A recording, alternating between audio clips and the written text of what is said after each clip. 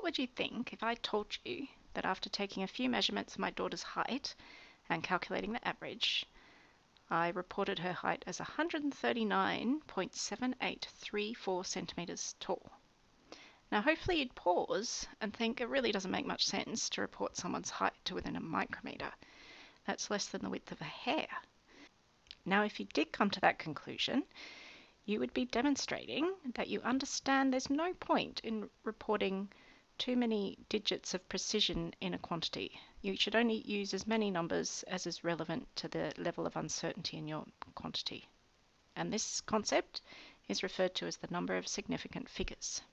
The number of significant figures in a quantity is simply the number of digits that are meaningful. It's related to the precision of your measurement. And it's a useful bit of scientific jargon that helps when estimating quantities and errors, and it's best explained with some examples. So here are some numbers I've written down. First of all, any zeros at the start of a number are not counted. That's because they don't contribute to the magnitude of the quantity.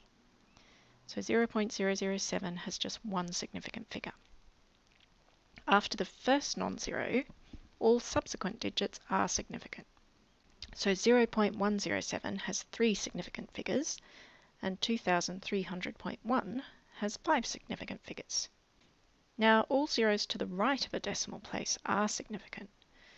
So, for example, 6.300 has four significant figures, and that's because you're specifying that the value is 6.300 and not 6.301. Now, there's always a bit of ambiguity when you have large integer numbers. So if I write down 57,000, then it's not clear whether I mean two significant figures here, or whether I mean there's a full five significant figures. So this relates to quantifying your uncertainty. So I'm not sure, is this plus or minus 100, say, or is it plus or minus a half? So if it was plus or minus 100, then I've got, say, two or three significant figures. But if it was plus or minus 0.5, then I would be having five significant figures. So one way to get around this ambiguity is to specify the uncertainty, as I just did.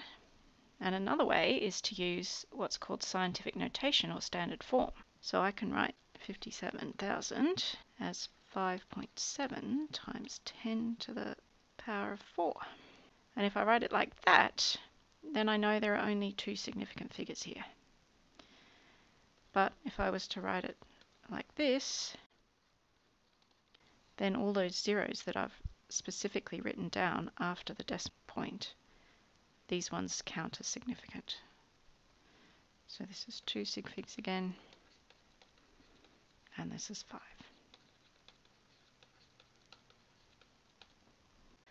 One more thing I need to say about significant figures is that errors or uncertainties are only ever given with one significant figure.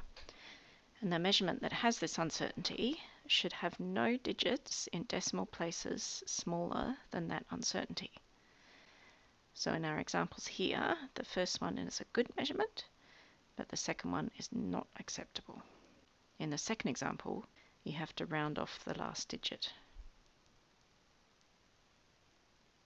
Now remember my example at the beginning of the video.